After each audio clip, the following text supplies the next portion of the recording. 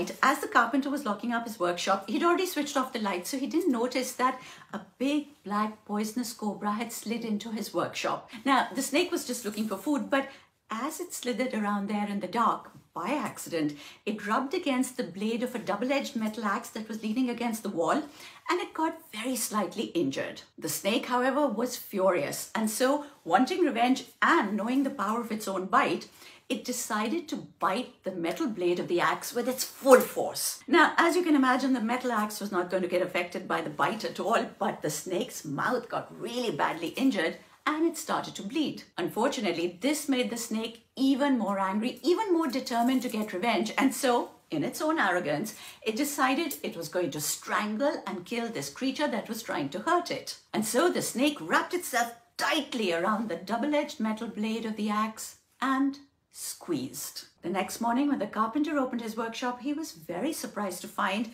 a chopped up snake lying littered across his floor. So, what's the moral of this story?